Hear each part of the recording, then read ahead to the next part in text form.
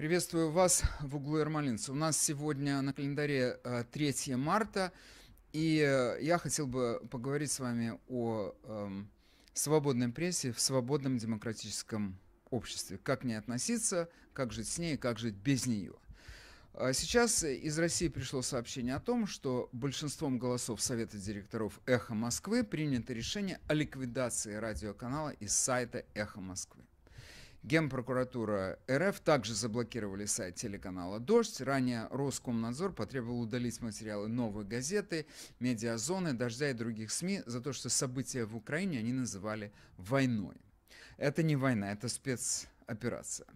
По данным Генпрокуратуры, «Эхо» якобы распространяло материалы с призывами к экстремистской деятельности и ложные сведения о действиях российских военных в Украине. Бывший теперь главред радиостанции Алексей Венедиктов ответил, что претензии ведомства не подкреплены никакими примерами, никакими доказательствами. Они являются голословными и оскорбительными для журналистов и граждан России. Но, слушайте, какие примеры и какие доказательства? Война – это особое время, канал информации должен быть один – чтобы в стране было единомыслие тех людей, которые этим канал, каналом пользуются. То есть информация должна смениться правительственной агитацией и пропагандой. Так?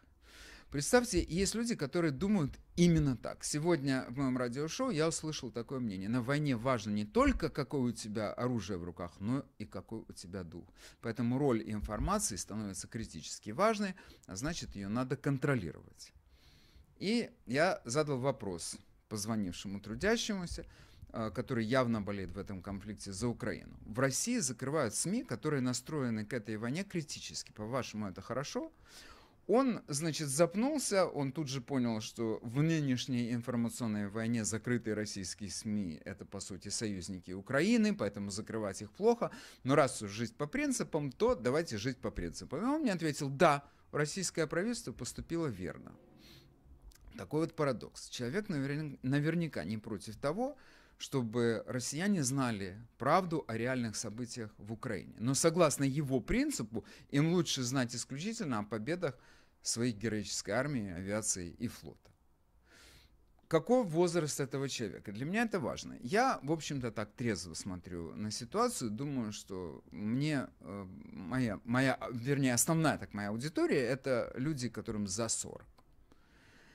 Многие из них родились и выросли в эпоху, когда в известиях не было правды, а в правде не было известий. Они это все помнят, и тем не менее они считают, что правительство должно располагать монополией на информацию.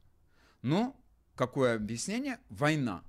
А не война, так ожидание войны, жизнь в плотном окружении врага дает право закрывать рот оппозиции. Но мы через все это прошли в Советском Союзе. Мы всю жизнь там жили в окружении врагов, поэтому у нас было только одно мнение – известие и правда.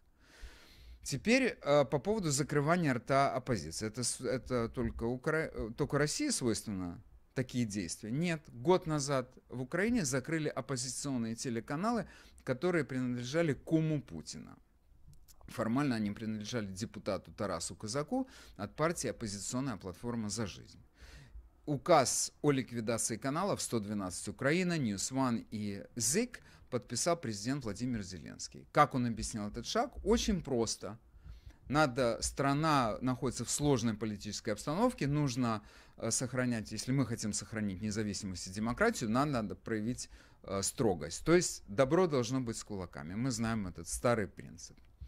Но как к этому отнеслась, э, например, международная общественность тогда, считайте, за год до войны? Значит, в отчете мониторинговой комиссии ООН по правам человека говорится, цитирую, «Это решение противоречит международным стандартам в области прав человека, поскольку ему не хватает обоснования необходимости и пропорциональности, и оно не было принято независимым органом». Э, президент подписал, а не независимый орган. Просто президент ликвидировал свою оппозицию. В отчете также сказано об обеспокоенности законопроектами, которые были направлены на установление наказания за коллаборационизм с враждебным государством. Он считает, что такие инициативы не соответствуют международным стандартам на свободное выражение мнения, мирных собраний и объединений. И я подчеркиваю, это было за год до войны. В числе еще в списке жертв национальных интересов Украины русскоязычная пресса. Оппозиционная, патриотическая, несущественно.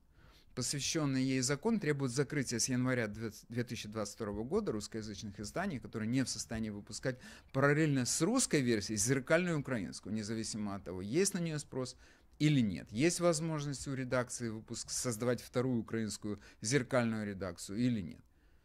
Это, по сути, смертный приговор русскоязычной прессе в Украине. Причем, я подчеркиваю, он вынесен задолго до войны, но вынесен как бы в ожидании войны. Но во время войны об этом лучше не вспоминать, потому что военное время – это время черно-белого видения мира. И в этом мире Украина – это светоч демократия, а Россия – это Мордор, страна орков и урок. К счастью, мы живем в эпоху децентрализации информации, когда официальные издания стали играть второстепенную роль в новостном потоке. Десятки, если не сотни блогеров освещают события в Украине, при этом их смотрят и читают миллионы зрителей. Но тут вопрос, кого слушать? Голос официального Киева Алексея Арестовича, по версии которого Украина либо стоит насмерть, либо наступает, или бывшего сотрудника КГБ профессора Игоря Панарина, по версии которого всегда наступает Россия.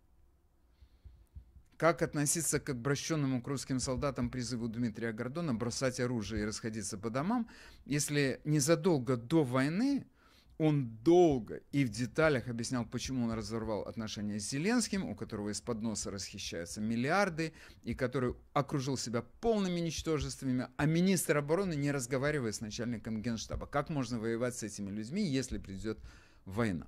Я, признаться, был удивлен тем, что очень популярный ведущий так долго и так в деталях жалуется на президента, но как-то сейчас он стал его защитником большим и защитником его администрации.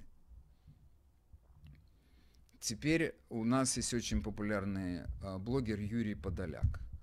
У человека больше полутора миллионов подписчиков. То есть, если я э, выскажу такое предположение, что если мы сейчас возьмем, например, э, все официальные средства информации э, Украины и блогеров, которые работают в этом, ну, скажем, дружественных блогеров, у них не будет полутора миллиона подписчиков. Только подписчиков, потому что просто зрителей может быть еще больше.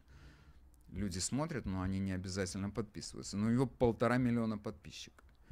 И он дает сводки с фронтов, которые кажутся вполне достоверными. Они впоследствии в большей или меньшей степени подтверждаются развивающимися событиями. У него корреспонденты по всей стране, он получает от них звонки, текст-месседжи, какие-то видеоматериалы, он просматривает соцсети, он создает такую вполне адекватную э, картину. Но при этом он комментирует, когда эти события, это просто не выдерживает никакой критики. Я рассказывал об этом в своей радиопередаче, еще приведу этот пример, потому что он мне показался таким показательным. Значит, в Сумах российские войска встретила проукраинская демонстрация. Я, кстати, видел это, э, эту запись. Действительно, там в грузовиках сидят э, русские солдаты, и вокруг там ходит, ну, может быть, две-три сотни людей с э, желто-блакитными флажками. И Подоляка говорит, демонстрантов не разогнали, потому что Россия демонстрирует Украине, как работает настоящая демократия. Да, это так работает настоящая демократия. А почему она тогда не работает в России, где участников антивоенных протестов арестовывают в больших количествах, а оппозиционные издания закрывают? То есть вот один и тот же человек, он дает как бы такую достоверную информацию о, о ситуации на фронтах, но эти комментарии – Кому верить в этой ситуации? Значит, сколько видео в соцсетях рассказывают о пленных э, русских и украинских военнослужащих, это просто э, сидеть и смотреть, как сериал, бесконечный. Но какие из этих видео реальные, а какие фейки? Потом, как относиться к состоянию этих пленных? Если ты, тебя поймают, в, если тебя возьмут в плен, да еще тебя ранят, я предполагаю, что в этой ситуации ты можешь пересмотреть свои взгляды на жизнь, потому что эта жизнь может в любую секунду кончиться. Поэтому поведение этих пленных до известной степени предсказуемо, что русских, что украинских. И насколько это состояние отражает настроение тех людей, кого не взяли в плен и которые продолжают воевать. То есть у этих видео совершенно понятная пропагандистская задача, но мы должны помнить, что кольцо вокруг Киева продолжает смыкаться, и не сегодня-завтра российские войска выйдут к Одессе. То есть, да, эта армия, нам говорят, деморализована. Она, да, может быть, она деморализована, но она движется вперед. Но как быть? Вот для меня это вопрос, как быть в этом э, потоке публикаций? Самодеятельных, таких полусамодеятельных, профессиональных. Я могу поделиться с вами своим опытом. Мы, когда хотим получить какой-нибудь э, важный для нас продукт или сервис – мы его сразу не получаем. Нам нужно как-то потратить время и усилия для того, чтобы выяснить качество этого продукта, почитать рецензии и так далее, и так далее. Это касается всего. Обуви, продуктов, одежды, какой-то аппаратуры, бытовой техники, домов, стран теперь.